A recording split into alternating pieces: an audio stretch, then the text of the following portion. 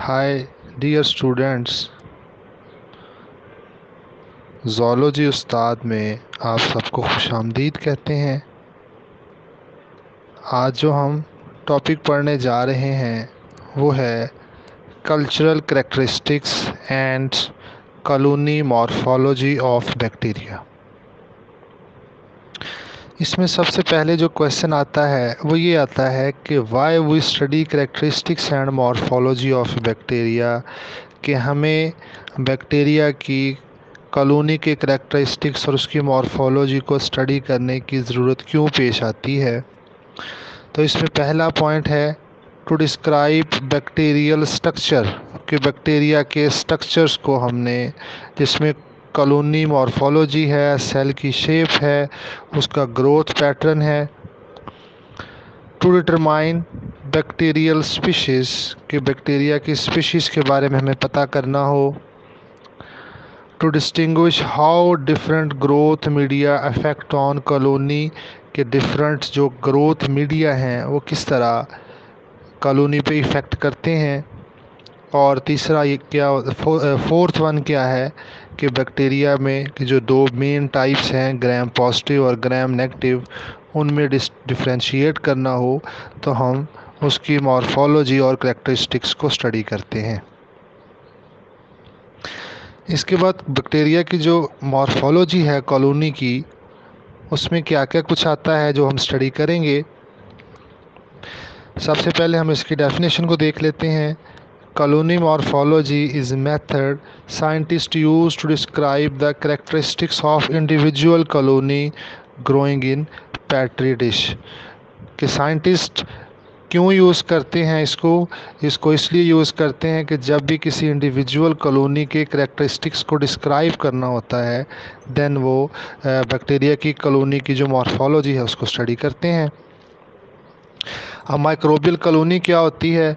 Is a defined as a visible cluster or mass of microorganisms growing on or within solid medium कि ये वो bacteria का mess होता है कि जो एक सिंगल सेल से ओरिजिनेट होती है कॉलोनी और वो एग्रीगेट बन जाते हैं। उसके बहुत सारे जो बैक्टीरिया हैं डिवीज़न के बाद वो एक मैस बन जाता है जिसको हम बैक्टीरियल कॉलोनी कहते हैं। अब सॉलिड मीडिया में कौन कौन से करेक्टर हो सकते हैं जिसको हम मॉर्फोलॉजी में स्टडी करेंगे? उसकी मॉर्फोलॉजिकल करेक्टरिस्टिक्स को करेक्टरिस्टिक्स को देखने के लिए कौन कौन से करेक्टर्स को स्टडी करना पड़ता है? और कौन से ऐसे करेक्टर हैं जो हमें इंडिकेशन देते हैं कि ये कौन सी टाइप है? तो सबसे पहले बैक्टीरिया की शेप आती है। शेप के बाद उसका साइज़ है। साइज़ के बाद उसकी एलिवेशन है। देन उसका मार्जिन है। देन सरफेस आती है। देन उसका टेक्सचर है और फिर कलर आ जाता है और लास्ट पे हम जो स्टडी करेंगे वो है आर्डर कि वो जो उसकी खुशबू है वो कैसे इंडिकेशन देती है कि ये कौन सी टाइप है बैक्टीरिया की। फॉर्म्स एंड शेप्स सबसे पहले हम उसकी फॉर्म और शेप को देखते हैं कि कितनी तरह की शेप्स हो सकती हैं, कितनी तरह की उसकी फॉर्म हो सकती है। बैक्टीरिया जो हैं, उसकी फॉर्म और शेप डिफरेंट टाइप्स की हो सकती है। इसमें कुछ बैक्टीरिया सर्कुलर होते हैं, जो कि सर्कल में होते हैं, फिर रेगुलर शेप आ जाती है। दैन फिलामेंटियस होते हैं फिलामेंट्स लाइक होते हैं। दैन वो राइजॉइड्स होते हैं और पेंटीफॉर्म्स हो सकते हैं एंड देन स्पिंडल शेप हो सकते हैं। तो ये बैक्टीरिया की शेप है जो कि डिफरेंट हो सकती है, जिसकी वजह से हम उसको पहचान सकते हैं, उसके करेक्टरिस्टिक्स को स्टडी कर सकते हैं। सेकंड इसमें आता है साइज़ कॉलोनीज जो हैं उसका साइज़ बहुत छोटा भी हो सकता है। इवन कि extremely small like a pin point और उसमें हम मिलीमीटर्स में स्टडी करते हैं और कुछ कॉलोनीज जो हैं, वो फाइव टू टेन मिलीमीटर भी हो सकती हैं। तो जब भी हम बैक्टीरिया की कॉलोनी को स्टडी करते हैं तो हम उसको अच्छे से पैट्री डिश में जिस, जो हमारे पास मेथड होते हैं, जिसके ऊपर हम उसको काउंट करते हैं, उसमें अच्छी तरह हम उसको स्प्रेड कर लेते हैं, ताकि बैक्टीरिया की कॉलोनी को जज करना, उसकी शेप को देखना, उसके टेक्सचर को देखना आसान हो जाए। अब हमारे पास साइज़ आता है तो बैक्टीरिया का जो साइज़ है, वो डिपेंड करता है दो चीज़ों पे। बैक्टीरिया की कॉलोनी का जो साइज़ है, वो डिपेंड करता है ग्रोथ मीडियम पे और नंबर ऑफ़ कॉलोनीज़ पे। तो इसकी जो साइज़ है, वो डिफरेंट हो सकता है। फंक्टी फॉर्म जो होता है, ये बहुत स्मॉल एक पिन पॉइंट लाइक होता है स्मॉल हो सकते हैं। उसका साइज़ मीडियम हो सकता है और लार्ज कॉलोनीज़ भी प्रेजेंट हो सकती हैं। अब हमारे पास जो सेकंड करेक्टर आता है, वो है एलिवेशन ऑफ़ कॉलोनी ये एलिवेशन क्या होता है? एलिवेशन को हम डिस्क्राइब करते हैं साइड व्यू ऑफ़ कॉलोनी कि कॉलोनी जो है साइड से किस तरह की नज़र आती है। तो ये हमारे पास सिक्स टाइप्स आ चुकी हैं। वो फ्लैट हो सकती है, हो सकता है कि वो दरमियान से थोड़ी सी ऊपर को उभरी हुई हो, जिसको रेस्ट कहते हैं। ओबनेट हो सकती है हैमिंग नोब्ड प्रोट्यूडेंस यानी कि दरमियान से थोड़ा सा उभरा हुआ हो, भी हो सकता है।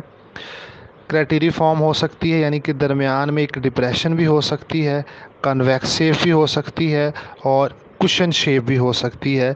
तो ये अगर हम एलिवेशन की बेस पे उसको स्टडी करें तो ये सिक्स टाइप्स उसकी हो सकती हैं। इसके बाद हमारे पास आता है margin. Margin of colony, margin of bacteria colony जो है, मार्जिन और एज ऑफ़ कॉलोनी में बी एन इंपॉर्टेंट करेक्टर ये बहुत इंपॉर्टेंट करेक्टर हो सकता है। अब मार्जिन की बेस पे हम कैसे उसको स्टडी कर सकते हैं? मे बी वो इंटायर इवन शेप में हो सर्कुलर हो मे बी वो वेवी हो, उसके जो मार्जिन हैं। फिलामेंटियस भी उसके जो मार्जिन हैं, उसके किनारे जो हैं, वो हो सकते हैं।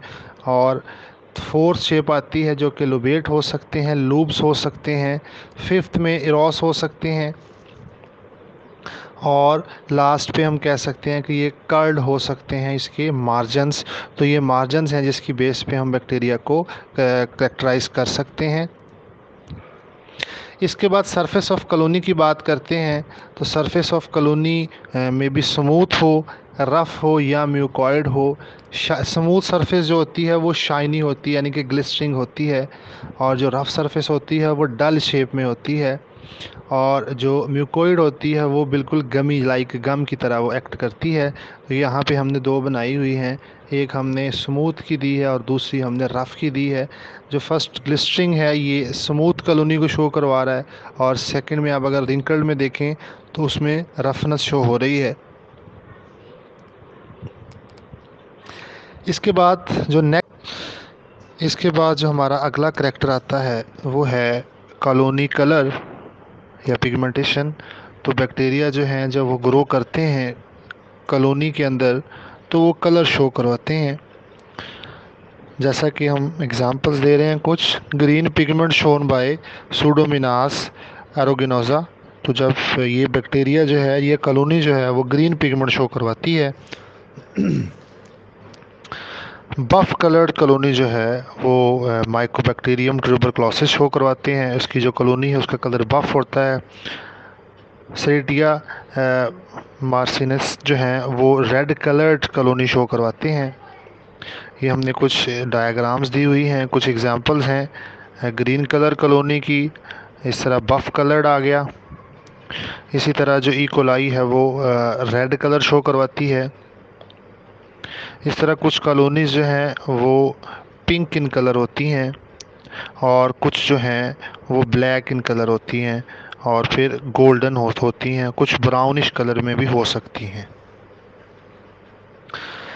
इसके बाद कुछ कॉलोनी ऐसी होती हैं जो कि मिक्स्ड होती हैं, यानी कि वो मिक्स्ड कल्चर बनाती हैं। उसमें बहुत सारे टाइप्स के जो हैं, वो कॉलोनीज इकट्ठी हो सकती हैं।